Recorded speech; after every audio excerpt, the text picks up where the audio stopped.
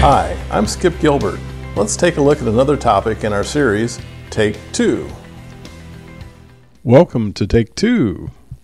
Today's topic will be on full emotion false alarm.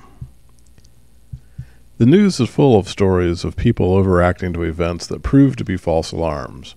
Recently, it was reported that about 50 people scrambled from a terminal at LAX airport when somebody yelled at the top of their lungs, Run! And they did. Turns out it was a false alarm. We face these false alarm challenges on a regular basis. We encounter situations that, from the first report, seem to have dire consequences for our role, department, business, profession, or some aspect of our professional lives, but later prove to be less of an issue than originally reported.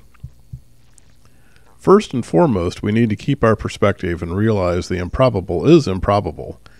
Things are not likely to be as bad as initially reported. Certainly, they will be different than initially reported.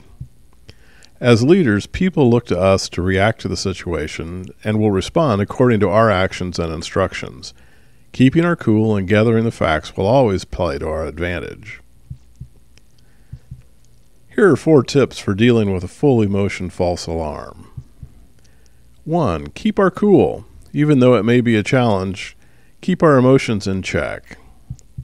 2. Find the facts. Look for information from more than one source. Try to get information from varying perspectives so we can piece together a clearer picture of the issue. Make a plan. Once we understand the issue, make a plan to resolve the issue.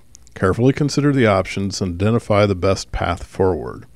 Keep some flexibility in the plan to adjust the approach should new information become available that modifies our perspective.